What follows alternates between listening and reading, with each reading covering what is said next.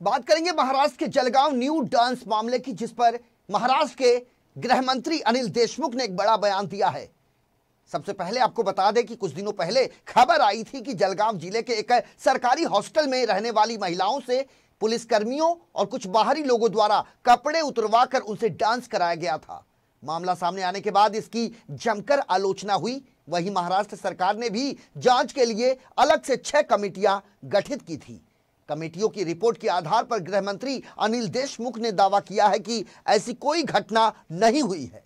जलगांव ज़िले में सरकारी हॉस्टल में महिलाओं के न्यू डांस का मामला विधानसभा में भी चर्चा का मुद्दा बना था। इस मुद्दे पर बीजेपी विधायकों ने जमकर हो हल्ला मचाया था और महिलाओं की सुरक्षा पर सवाल उठाए थे। वहीं बढ़ते हंगामे के बाद मामले में महा, महाविकास अघाड़ी सरकार की तरफ़ से यह कहा गया था कि इस मामले की जाँच की जा रही है।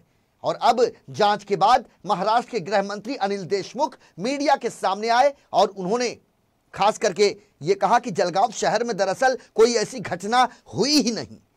जलगांव की इस घटना की जाँच के लिए सरकार ने छह टीमों का गठन किया था और इन सभी टीमों में अलग अलग विभाग की महिला अधिकारियों को शामिल किया गया था। महिला अधिकारियों ने जब इस मामले की रिपोर्ट राज्य सरकार को सौंपी तो सभी हैरान हो गए। रिपोर्ट में साफ़ तौर पर यह लिखा था कि इस प्रकार की कोई घटना जलगांव के महिला हॉस्टल में नहीं घटी है? रिपोर्ट में यह भी कहा गया कि 20 फरवरी के दिन महिलाओं ने एक मनोरंजन का कार्यक्रम ऑर्गेनाइज किया था, जिसमें महिलाओं ने गाना गाया था, लेकिन न्यू डांस जैसी कोई चीज़ सामने नहीं आई थी। गृह मंत्री अनिल देशमुख ने बताया कि जिस महिला ने इस मामले को उठाया था, उसका नाम रतन बाला सुनार है, जो मानसिक रूप से ठीक नहीं है। हॉस्टल का स्टाफ भी समय समय पर इस महिला की शिकायत पुलिस और अन्य अधिकारियों से कर चुका है। यह महिला बाकी लोगों के साथ मारपीट करती है। कुछ इस तरीके के आरोप सामने आ रहे हैं। अब अनिल देशमुख का इस मामले में क्या कुछ कहना है, आइए सुनते हैं। कल के एक न्यूज़पेपर में एक महिला वसती गृह में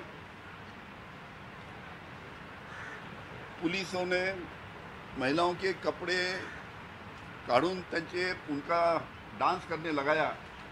इस प्रकार की खबर एक, पेपर में आई थी।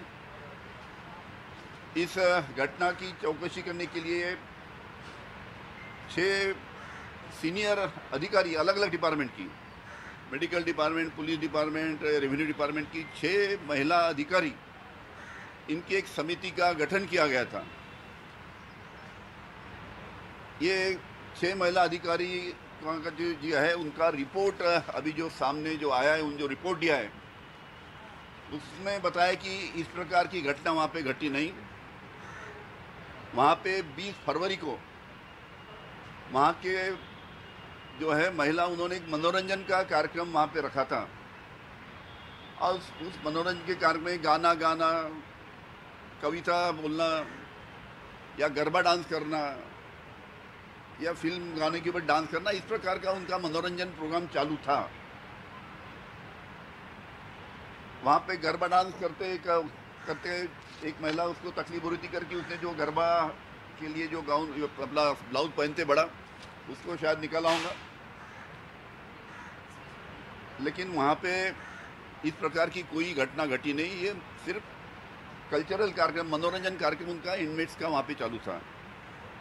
इस प्रकार की जो झूठी तकरार इस घटना की, वहाँ एक रत्नपाला सोनार करके एक महिला उसने दी थी। उसके बारे में भी जानकारी आगे आई है। अरे ये रत्नमाला सोनार जो है,